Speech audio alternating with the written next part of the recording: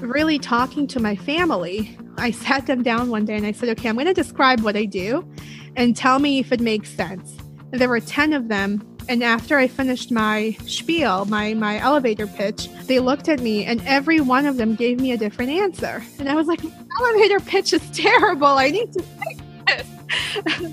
this is Therapist Clubhouse, a podcast for private practice entrepreneurs.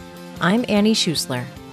This week, I'm talking to Selma Bacevac, a private practice entrepreneur in Jacksonville, Florida. She's a therapist, of course, and also the host of the podcast Parent Child Relationship Guru.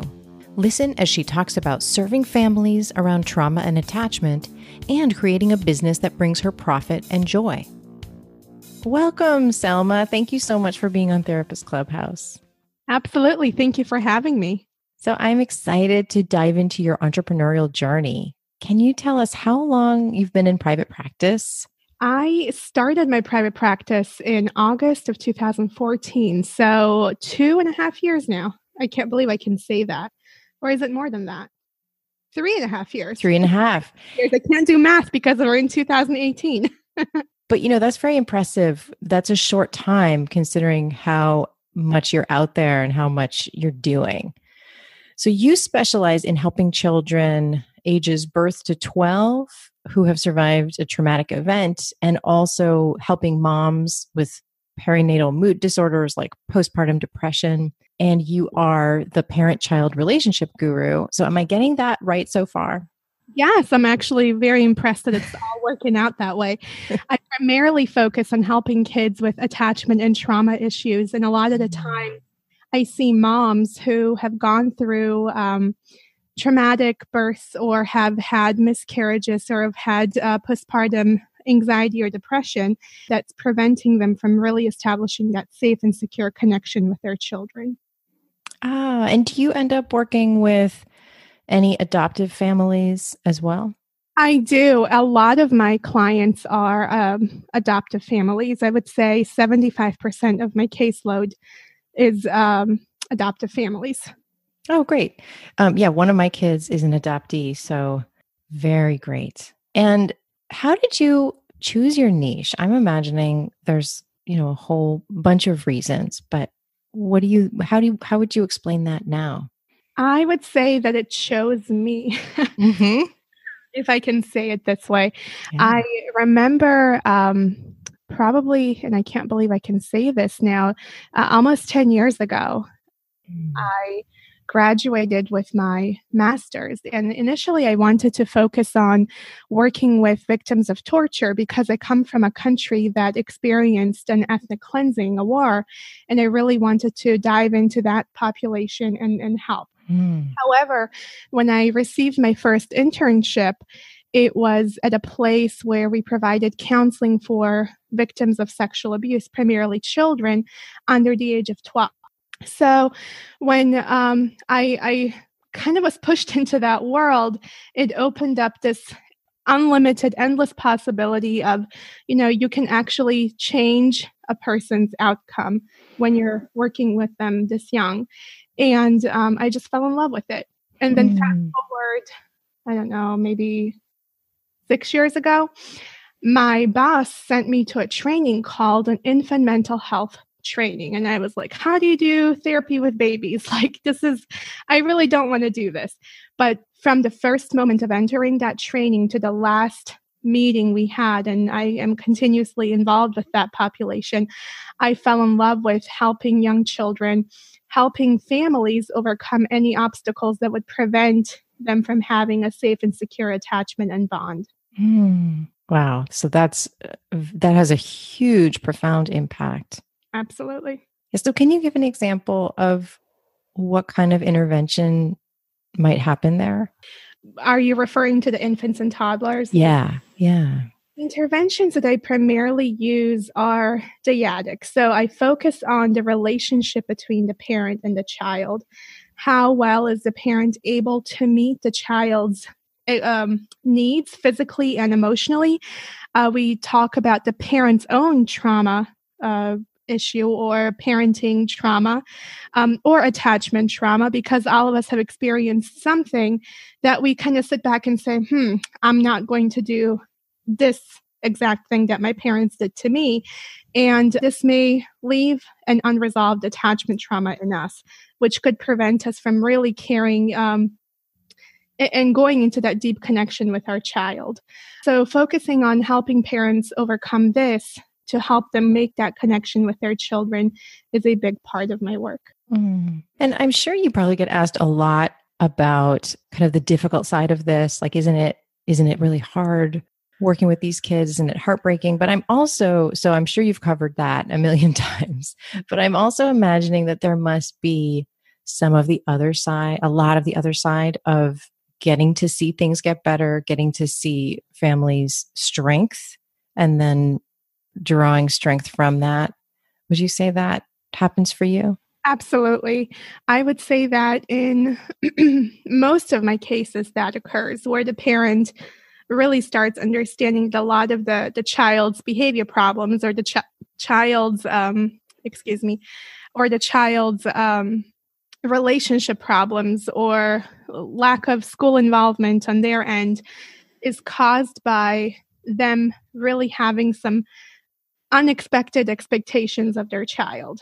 Mm. So hmm. the parent reaches that clarity and they understand how important they are in their child's development and how much their child needs them. That clarity gives that empowerment to the parent and they reach a much deeper understanding of what they need to do for their child. So a lot of the times when the parent is involved, that positive, that that you feel good about this feeling comes uh, comes about. Mm, yeah. And what's your so you've been working with these kids and these families for a long time and I'm wondering how do your clients find you? Primarily word of mouth, mm-hmm. I would mm-hmm. say at this point. I am listed in a few, well, actually, one right now Psychology Today, a searchable um, database.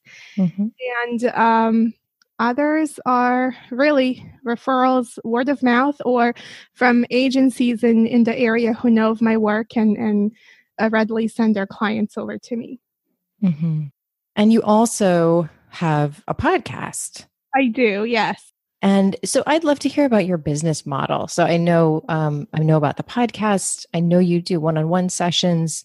Uh, tell us about online family consultations and DCF parenting classes and just anything else that you do? Mm-hmm. So, my, my business model is really, um, again, everything I do is related to the trauma and attachment within the family or the child setting. The podcast is called Parent Child Relationship Podcast, and I have um, different experts in different areas of the parent child relationship come on and talk about attachment and talk about relationship between the parent and the child. I am trying to do more videos, blog videos for my website, but I haven't really gotten to that yet. Uh, but that's really a goal of mine in this upcoming year. What do you, for you, what do you think is um, stopping you sometimes from doing those videos? I would have to say the time commitment. Um, mm-hmm. Um, clone myself, that would be wonderful. uh, but I can't. And I think uh, one thing that I'm learning or have started learning last year is that it's okay to outsource. It's okay to seek help in areas that you don't need really need to be present for. So when I initially started my podcast, I would do everything. I would um, edit the the audio i would i would do the artwork i would do the show notes everything and it would take a long time for this to get done. So I finally ended up finding a team of people who I just submit my file to and they get everything taken care of for me and it feels so good because it's done and I just all I have to do is publish it. That must have taken hours off your plate. Um, I am not exaggerating when I say probably a good 24 to 32 hours off my plate. And this every week. Every week. Yeah. Oh, wow, Selma. That's huge. Yeah. Fantastic. Mm-hmm. Yeah. Um, so with the videos, I am trying to come up with a concept that will not be time consuming for me, but that would be very beneficial to the families who are listening and watching, who can get a lot of very good um, information and resources and tips and tools from these videos to help their parent child relationship. And the DCF classes are primarily parenting classes that, uh, while I have a background in child welfare, and um, and when, will you remind us what DCF stands for? Department of Children and Families. That's mm-hmm. what the title is here in Florida for them. And um, when I worked for an, an agency, I got training in a protocol called Circle of Security Parenting. And it's an attachment based parenting uh, course that I teach to families involved with the DCF uh, department.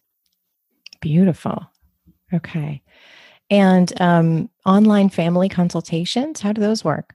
The consultations, I primarily families from Florida who don't reside uh, in the same city as I, who will call and say, Hey, I need some feedback. This is, I'm working with a therapist right now, but they're not maybe an attachment or trauma ther- uh, specialist.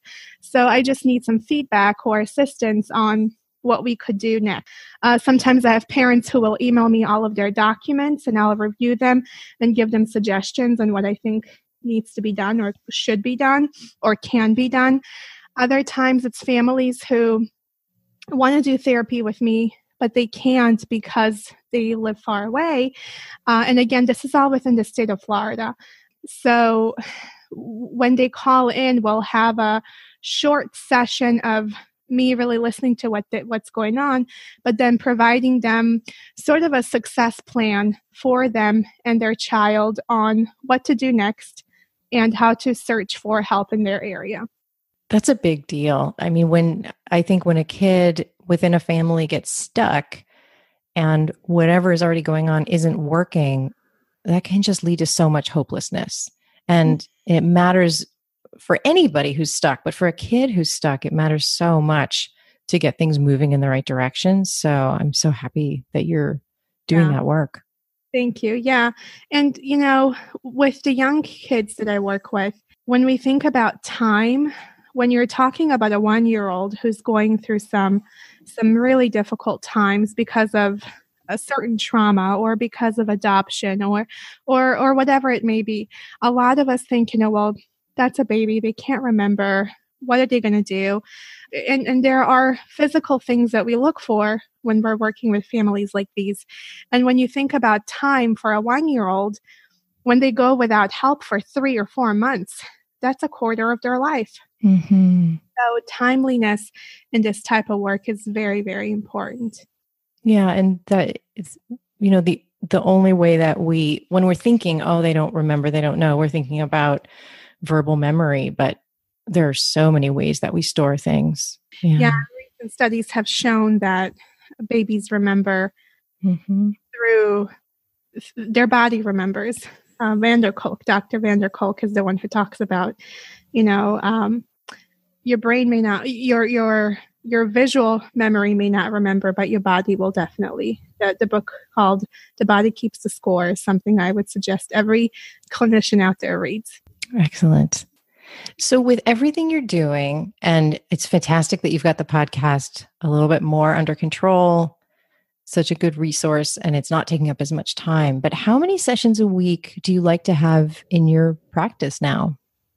Um, I am very fortunate that I am able to provide um, anywhere from 10 to 15 sessions a week. I try to see my clients on two days a week. So I have the other days available to the podcast to videos to to my personal life so the work life balance is very important for me working in the child welfare setting the work life balance was nearly impossible mm-hmm.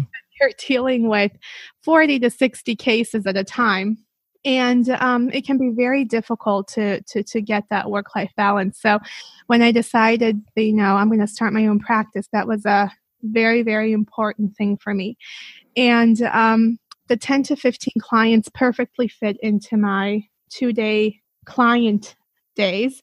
And um, I find enough time to do research and prepare for the sessions on the days that I am not in office or in session with them. And what's your fee? My fees, um, it, my intake fee is different than mm-hmm. my uh, session fee because they spend a little bit more time with the families. I charge $150 for the intake and $125 for my regular session. Mm-hmm. How do you feel about your fee? I struggled with this for a while, and I think last year was a um, was a very big growth year for me because I, I surrounded myself with people who were positive, abundant thinkers. So they, they thought in abundance and they allowed me to break free of some of my some of my my fears of but what if i charge this and then no one comes and i think a lot of us when we start out in private practice we have that fear how do we survive and somehow it just falls into place you just have to keep going and you have to keep you know you have to just keep at it and it's going to fall into place. I initially started off with very low fees at um, like $70 per session. And um, when I did a market study on, you know, how much other therapists were charging in my area, not only was I lower than the, the lowest licensed clinician, but I was charging less than some of the registered interns, and I was a licensed professional. So I with a ton of experience. Oh. Yeah. Yeah. And I initially increased to $100 and then to 125 and I am hoping to charge again or increase this again next year as I recently increased to 125. So I think we undervalue our work and when we find our ideal clients, they don't mind paying that because they understand that you will help them and that your time and their time is very important. I totally agree, Selma. I also think there's something. So we're recording this in January, and there are all these sales, right? Everything's on sale right now. And that doesn't really work for therapy, right? Like, I think we can have a tendency to put ourselves on sale when we're feeling insecure, when we're starting out. And it really doesn't work that way for therapy. No. Yeah. No, and you know, when I decided to increase, I, I challenged myself and um, I wanted to ask the other clinicians in my area that I trusted how much they charged and what they thought, you know, my price increase would do for my business. And I realized that mo- most of us have money issues. Most of us, uh, a lot of my colleagues would say, well, I didn't go into this field to make money. Yeah my response to that is well, you know, medical doctors usually don't go into the field for money. I would hope so. Um, I would hope that they're going into the field to help people, but they're making very good money at it. So, what's different between them and us? And I understand that their education is a little bit lengthier than ours is, but it's a different kind of specialty, and we're helping people. So, just because you know help help doesn't doesn't need to come free or cheap if if you know people want help they'll ask and and and pay for it yeah and i think this is true for all therapists and i'm thinking for your work in particular if you don't take really good care of yourself then your work is gonna you're gonna have to burn out at some point so i think part of taking good care of yourself is charging enough yes absolutely yeah and charging a fee that you are worthy and mm-hmm. where you won't feel resentment toward a client. You know, I remember having a session when I initially started off with one of my clients, and they came in and they wanted to do a sliding scale with me. So, mind you, I was charging really low, but they came in and said, Oh, I can't even pay that. Can I pay less? And out of my fear based thinking, Absolutely. You know, why not? We'll figure something out. You need help. I'm here to help. It is what it is. And um, a few sessions into our relationship, into our therapy, they disclosed to me that they were going on a very expensive vacation. So, oh, yeah.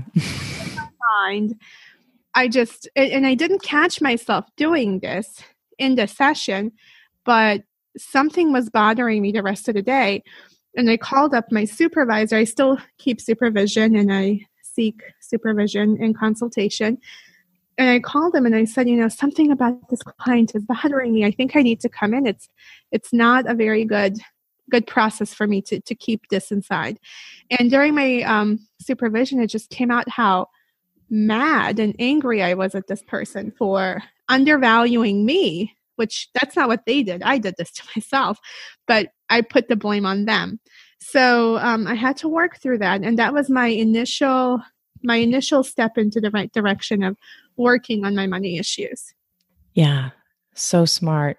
I love that you that you were able to figure out that you needed to talk to your supervisor and get to the bottom of it and not let it fester and not let it get in the way of you know future relationships. Such important work. Thank you. Yeah it is. And and it's something that unfortunately we don't we don't address in school. We're just kind of tasked out there and, and figure it out for yourself. And um, it's unfortunate because i think a lot of very good therapists undervalue themselves and are stuck in situations where they burn out and eventually just change the field because this is a very very difficult field to stay in if your boundaries and your your self-care is not on point. Yeah. And there's a there there can be a real dichotomy set up that we're either going to be of service or we're going to be making money. And we we we sort of learn to look with suspicion on the idea of therapists in private practice making a good living. But I think you're such a good example of this, of how having therapists in private practice who are really dedicated to a high level of service for years and years, you know, setting themselves up to be able to do this for the long haul in these really ethical, small micro businesses where the therapist can make a good living and be in this for the long haul that that I think that really busts open that dichotomy and proves that it's really false. Yeah. I was excited that this 2017 we were able to travel outside the country with um, some of the profits that I made for myself, working way less than I did at the child welfare agency. I mean, when you compare my quality of life then and now, yes, it gets stressful and and it, it wouldn't be fun if it didn't get stressful. But the difference between valuing yourself and knowing how good at you are at what you do, and then having someone else telling you what to do and, and choosing things for you is is different. And I encourage anyone who is on that bridge of do I do this or do I not? Just jump in. Just do it. Just jump in. It's going to be okay. Because if a person like me who has this fear based mindset that she's grown up with, who's got parents uh, f- from the former communist era from Eastern Europe who believe government jobs are the best types of jobs. And, and breaking through that type of barrier and, and my own mindset and their mindset, if I could do it, there's no way that other people can't. And I, I genuinely, I know this is a cliche, but I genuinely mean that. Oh, yeah. Yeah. What do you think one of the biggest mindset switches was that you had to make to decide it was okay to be an entrepreneur? I would have to put this on on my husband. Um, mm. He is the one who, as I was debating, what should I do? What should I do? And um, he looked at me and he said, "Well, you're child welfare job. That's we can't do this anymore. This is this is burning you out you're not going you can't do this so he looked at me and he said well what do you have to lose? The worst thing that can happen is you're going to close doors and move on. You're going to find something else. And the, he's very simple in his approach to things and i love that about him. Um, where when, when he put it in those words i was like he's absolutely right. What do i have to lose? Nothing. So go on in and, and do this. And, and and i know it's it was a little bit easier for me because i had the stability of my husband's paycheck coming in and i didn't have to worry about paying bills. Um, and, and that was a big factor in all of it. But really the, the the freedom that you experience the exhilaration the the just the satisfaction and the self-care you can do is is all worth it. Mm. yeah so, will you help me with a question that came in from a listener that I think you could be really helpful with? Sure. Listener question. Okay, so this person wrote in I have a ton of ideas for my private practice. How do I decide what to do first and how do I avoid getting overwhelmed? Okay, that's a very good question. So, I think uh, the way I would approach this is I would probably list out all of those ideas in a piece of paper and then prioritize them. And um, I, I know that this is kind of overkill, and we probably hear it all the time from a lot of the coaching and a lot of the, the reading that we do about businesses and, and, and becoming an entrepreneur. Finding that niche, finding your ideal client will eliminate a lot of the stuff that you don't need to do. That's kind of that shiny object in the corner of the room that's you know, I have that problem. Mm-hmm. I'll, I'll, think of a great idea and I'll be like, oh, but that really won't help my clients. So that would be a waste of my time and their time. So prioritizing based on your ideal client's needs. Love that. Yeah, I I kind of went through this. Uh, I didn't ask the question, but I could have at any point when I was doing my end of year review and next year planning. I had so many ideas that I was really excited about of, you know, different ways to serve therapists, different things I wanted to do for them. And I ended up crossing off almost every single new idea because it's really important for me to prioritize. It's really important for me to simplify, spend time with my family. And so, one of the things that helped me know what to cross off and what to leave on was, you know, what are the things that are really directly leading me to the business that I want right now and to helping the people I want to help right now and weeding everything else out, at least for now. Yeah. Knowing it can, you know, we can do it later. There was a really good book by Keller who wrote, um, or is it Keller Williams? One of one of those, um, who wrote the book called The One Thing. Are you familiar? Mm-hmm. Yeah. And um, they talk about, and I heard this from another podcast uh, probably about a year and a half ago, who said, you know, become excellent at one thing, mm-hmm. one thing only, and then the other things will fall in place. You need to build that trustworthy relationship with your ideal client because they're not going to come and buy from what you're selling if they don't know who you are and they don't believe that you can really help them. So becoming really good at that one thing is very, very important. Yeah. And I'm thinking for you, at least from the outside, it looks like you doing the podcast is one really clear way for you to keep on reaching and building those relationships and building that trust over time that I'm sure you do other things as well, but that it's not necessary to do a thousand things or a hundred things mm-hmm. to to market your practice? My my business plan shifted so much over the last year, um, and working on it this year has it, it went from like a thirty page thing to like a almost ten item thing.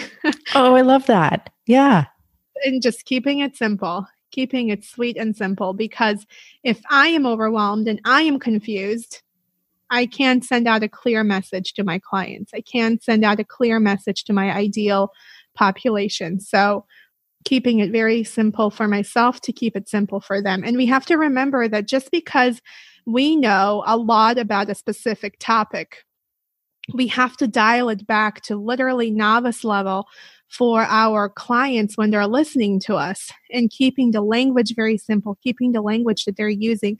And I struggled with that for some time and and um, really talking to my family. I sat them down one day and I said, okay, I'm going to describe what I do and tell me if it makes sense. And there were 10 of them. And after I finished my spiel, my, my elevator pitch, um, they looked at me and every one of them gave me a different answer. And I was like, ah. Elevator pitch is terrible. I need to fix this. so we sat around and um, really brainstormed ways on, on what I could say. And, and they were like, well, we all understand what attachment and trauma is. We all get that. Why do you have to do like anything else? We understand what that is.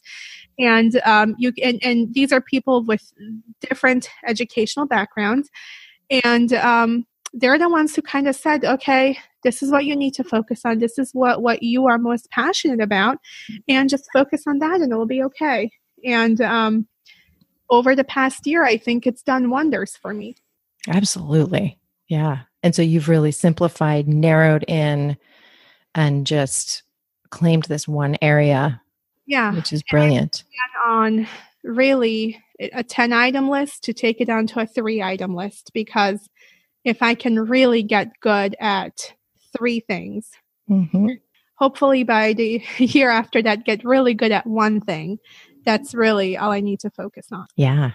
So, if you could time travel to the beginning of your private practice, what would you tell the Selma of that time? Work on your fear based thinking. Run, um, run your business out of love and not out of fear, and you'll be okay. You'll be more than okay. Mm, so great. So, Selma, what is the very best place for people to find you and throw compliments at you? I would say my website, hopeandhealingcenter.com, as well as um, my Facebook page, uh, which is linked to the um, website. So if you logged on there, you'd be able to find me. And then, of course, my podcast, the Parent Child Relationship Podcast, uh, which I'm working on new episodes. So I'm excited about that.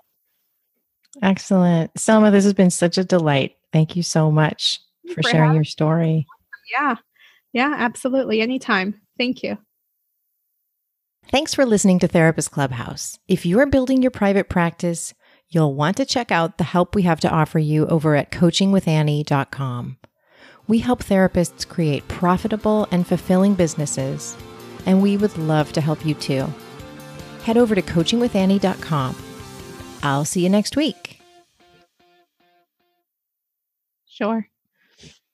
And I feel so weird looking at myself now. I record my own podcast as well. So I am literally always talking into the mic. Yeah. So looking at myself now, it's being in the in the interviewee seat is a little bit different. yeah. You look so pro. oh, well, thank you.